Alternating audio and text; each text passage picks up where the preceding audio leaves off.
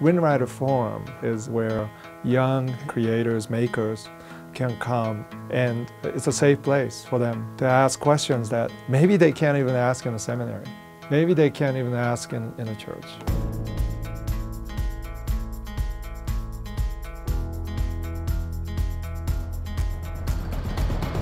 The Windrider Forum is an immersive educational experience for students from different educational institutions who come here to Sundance to watch movies together and to have conversations with one another and filmmakers. So what's amazing about the Windrider Forum is you take students, young people who are involved in the Christian tradition, and you bring them to the Sundance Film Festival. So you're taking the future of the church and having it overlay the future of culture. What Windrider provides is a spot every morning to meet and uh, provide context and bring in filmmakers. So it's just kind of something different I'd never really seen before. Windrider brings these kids here and they hear from directors that might come from very different frames of reference, might have a very different point of view. You know, our, you know, the ability to have dialogue, to learn from one another is, I mean, it's through conversation. That's the only way it can happen.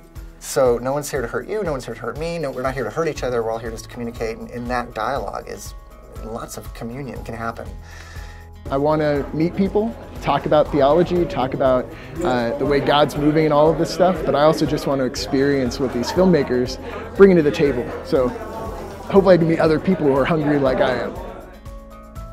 It's a, an opportunity for my students to be really deeply reflective about what it means to be human, what it means to be a believer. But then talking about those issues, like as a Christian, do I view it the same way? Do I not view it the same way?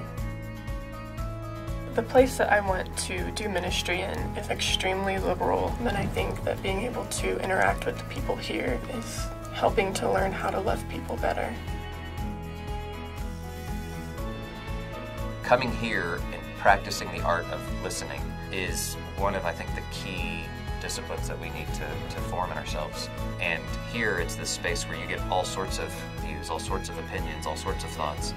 You know, when the, the credits rolled and we're starting there talking, we're talking about, um, you know, the search for meaning in life. And uh, I think that's a very valid thing. I think it is the thing to talk about in storytelling. Why the arts?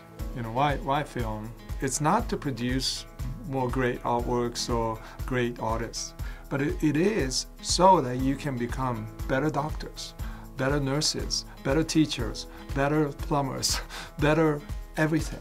And it helps you see how God can work in ways that maybe you never imagined. What I think I'm going to take away from Sundance and the Windrider Forum is a sense that I can do it.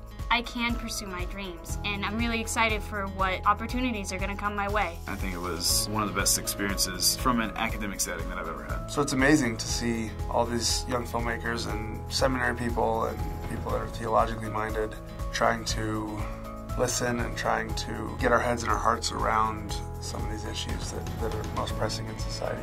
Why fund Windrider? When you're sitting together side, side by side in the theater, there's no distinction between races or classes, male, female. What does that sound like? It sounds to me like the New Testament vision of the world.